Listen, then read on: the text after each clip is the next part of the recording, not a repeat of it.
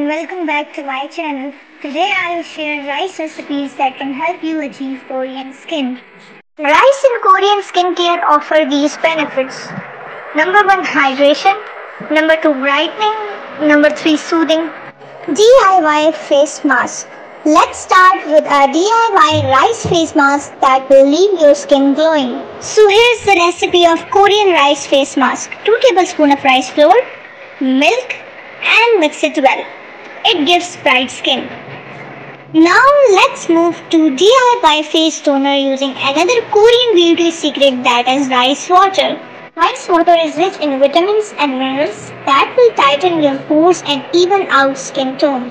DIY rice water. Soak uncooked rice with 1 cup of water for 24 hours till the water turns milky. So now you have DIY rice recipes which will help you to achieve Korean glass skin. Don't forget to subscribe, like and share my channel at the rate Lux Care.